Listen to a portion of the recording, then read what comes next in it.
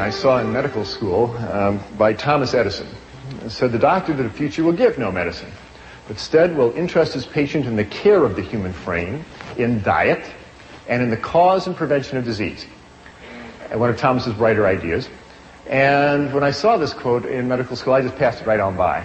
I was I went to the University of Illinois College of Medicine in Chicago, and I was so into becoming a real doctor. Who, and real doctors do real doctor things. They deliver babies, they fix broken arms, they sew up lacerations. That's what real doctors do. And diet was boring stuff. nutrition, yeah.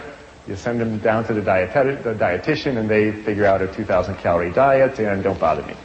And that's how I practiced medicine for the first eight or ten years of my career. Well, I have soon, or late, uh, come to realize how important what we eat really is in the creation and prevention of so many of the diseases that we see today. And I'll tell you how I came to those realizations. Now, the North American diet has changed. This is not going to be a technical lecture, but I did want to show you this one graph because there are some very significant lines here.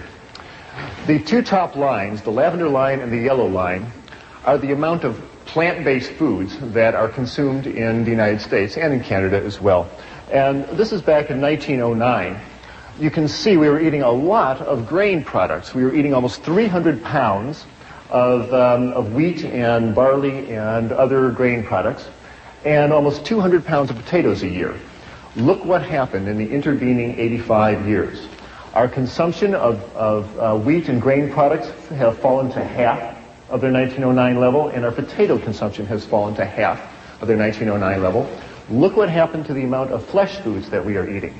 The amount of milk we consume has more than doubled. Our beef consumption's gone up by 50%, and our chicken consumption's gone up by 280%. We are eating a tremendous amount of animal flesh, and we have essentially exchanged a plant-based diet for a meat-based diet. And the results have been just disastrous for both our health and the environment. Consider how much animal flesh uh, most North Americans eat. In their lifetime, the average meat-eating American is going to eat 15 cows going to eat 24 hogs, eat 12 sheep. She will eat 900 chickens and a thousand pounds of assorted animals that either swam in the water or flew in the air. That is a tremendous amount of animal flesh to be pouring through the human bloodstream year after year. No wonder we wind up with clogged arteries and high blood pressure and cancers and a lot of other diseases, and I'll show you how those two are related. Let's talk about the health effects of an animal-based diet.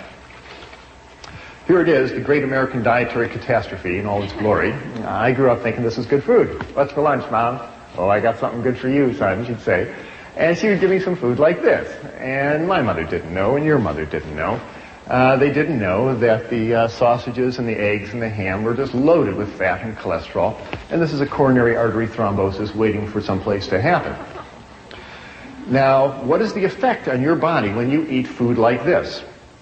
Well, the effect was brought out very dramatically uh, to me about 10 years ago. I was on the cardiovascular anesthesia service. That's the service that deals with people's hearts and blood vessels.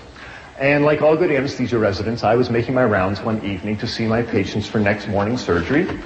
And the last patient I was seeing, I pulled back the curtain and there was Mr. Phillips. Nice fellow but he was just huge. He weighed 290 pounds, and he was booked for a four-vessel coronary artery bypass procedure.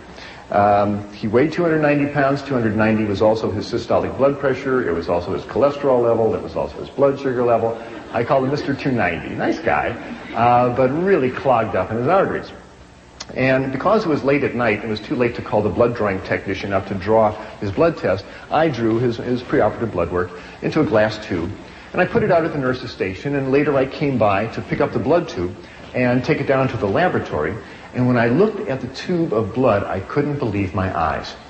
When you draw blood into a glass tube and let it sit there for an hour, it separates out into two parts. And the red clot settles to the bottom, and the liquid part of the blood, the serum, rises up to the top. Here you see two tubes of blood, and the tube on the left is normal serum, is normal blood. Here you see the dark red clot, and this golden yellow liquid, this is normal serum. This is what your blood is supposed to look like. But I looked at Mr. Phillips' tube, and it was just shocking.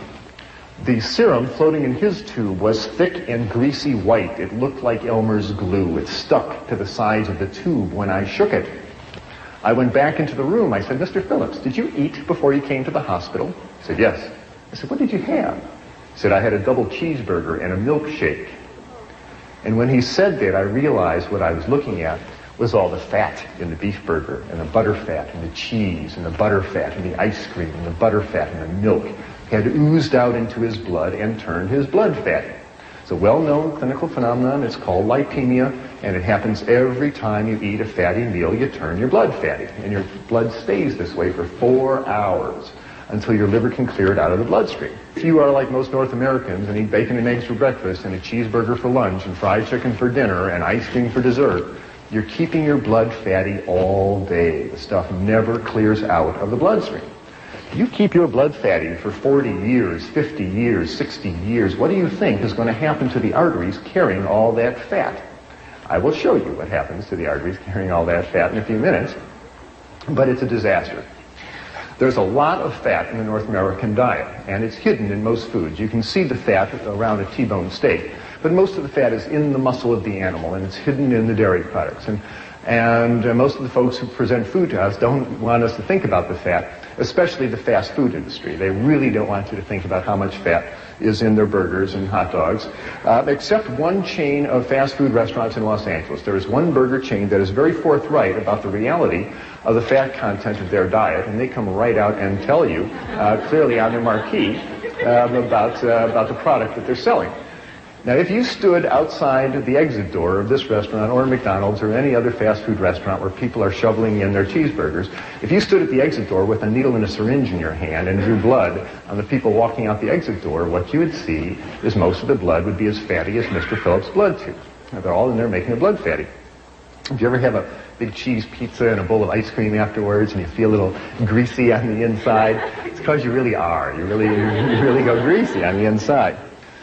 Animal fat comes in three flavors in the North American diet. It comes in the form of red meat, and the fat is in the meat. It is in the fibers of the animal's muscle, and just trimming off the white fat around the edge of the steak really does not lower the fat and cholesterol content significantly of the meat. So red meat is the number one source of fat and cholesterol in the North American diet. The second is the yolk of hen's eggs. The egg of a chicken is meant to hatch baby chicks. And it, the yolk of the hen's egg is one of the most concentrated gloms of fat and cholesterol on the planet. It is made to power that baby chicken for 21 days with no other energy. And when you run egg yolks through your bloodstream, you turn your blood fatty, just like Mr. Phillips. And the third source of fat in the North American diet comes from that white fluid that comes out of the udder of a cow. Now, cow's milk is a high-fat fluid exquisitely designed for turning a 65-pound calf into a 400-pound cow in a year. That is what cow's milk is for. Now, the, uh, whole milk has a butterfat content of 3%. That's the cream that rises up to the top. And you eat, you drink a, a 3% solution of butterfat, you're going to turn your blood fatty, as will a 2 and 1% solution of butterfat. But at the dairy, the butter fat is skimmed off and they concentrate it into huge vats, half the size of this room. And they concentrate the fat to 50, 60, 80, 90% fat. This stuff is so thick you can walk across it. Why do they do that? Well, they do that so you will buy it and eat it.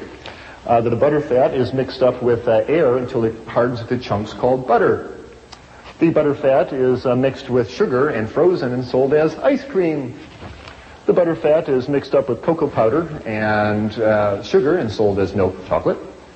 The butter fat is mixed up with bacteria and allowed to ferment until it turns into sour cream. A lower fat version is called yogurt. And the butter fat is mixed up with calf stomach and, uh, and bacteria and allowed to ferment for about six weeks till it hardens into chunks called cheese. These are all forms of butter fat. The folks at the dairy want you to buy the butter fat and eat it. And when you do, you turn your blood fatty. There's absolutely no reason to run butterfat through your bloodstream at any time, and I'm submitting to you that you'll be a lot healthier and happier if you do not. Cow's milk is for baby calves. You have no more need of cow's milk than you need giraffe milk or horse milk or rat milk.